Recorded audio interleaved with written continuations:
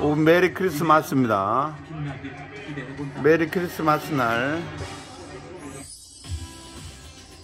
전 세계 사람들이 찾아오는 도시국가 보석함을 만들었습니다.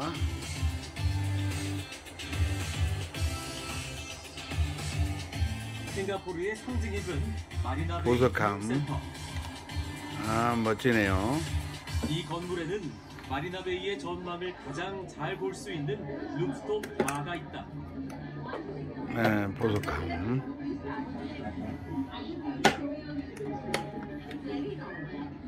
오, 화려하네요. 오, 이곳이 유명한 이유는 오, 보기가 보석함을 지키고 있네요. 오, 뭐가 있네요.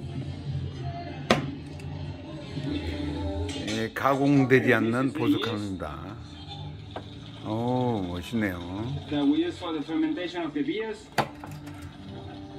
The yeast is a fungus that will convert 오, the sugars that are present 보석함. in the wort into alcohol 멋지지 않습니까? and CO2 mainly. And also a lot of byproducts that contribute to the flavor of the beer, but these are in small proportions. 오,